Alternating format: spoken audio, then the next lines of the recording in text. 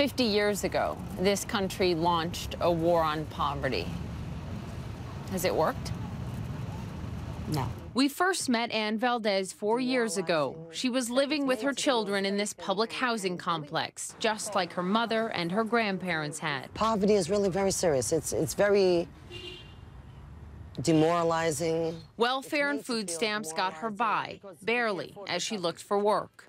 We came back a year later to see how Ann was doing. Has the situation gotten better for you?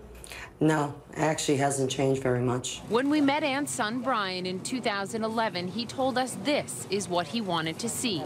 The senator, the congressman, even the mayor, come down here, see what's going on, see how destroyed these neighborhoods are, the spirits of these people. They are completely gone. A long struggle with scoliosis, Ann says, means she can't do mm, uh, certain jobs. If I get a minimum wage job, it's still going to lead me to have to apply for Medicaid and food stamps. So I'm still dependent on the system. Dependent on the system. Hers is just one of the stories of the nearly 47 million Americans living in poverty, 50 years after President Johnson declared war on it. This cycle of poverty has taken its toll on Ann Valdez. I'm 47 years old, trying to raise my family, trying to set an example. And I tell them how important education is, perseverance. And it's difficult because they look at me and say, well, look at you. Here you are, still fighting, and you, you can't get a job. Her unemployment benefits ran out years ago. Today, Ann says she gets $290 a month in public aid, $347 in food stamps, and her rent is subsidized.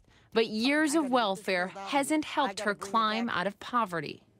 If this isn't working, what do you need? If you teach people how to do certain skills, then you're more likely to be able to obtain a position and maintain it. I'm not asking for them to raise the check. What I'm asking is for them to make more opportunities. An opportunity she hopes will come from education. She's still not employed, but she's in school part-time and will try to find administrative work once she finishes. Um, do you think things are going to change for you? I know they're going to change. As the years go by, though, it's harder to see where that change will come from. Poppy Harlow, CNN, New York.